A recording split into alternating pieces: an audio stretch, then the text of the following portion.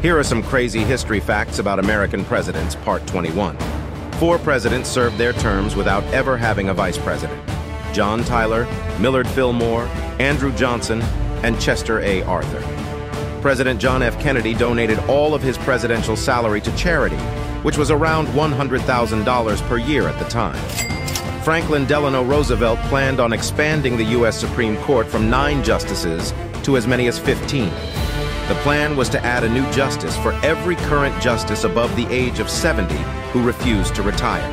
In 1950, Harry S. Truman survived an assassination attempt when two Puerto Rican nationalists attempted to assassinate him while he was residing at Blair House during the White House's renovation. One of the assassins and one of the guards was killed. The second attacker was apprehended, and Truman was able to hear the gunfire from his room.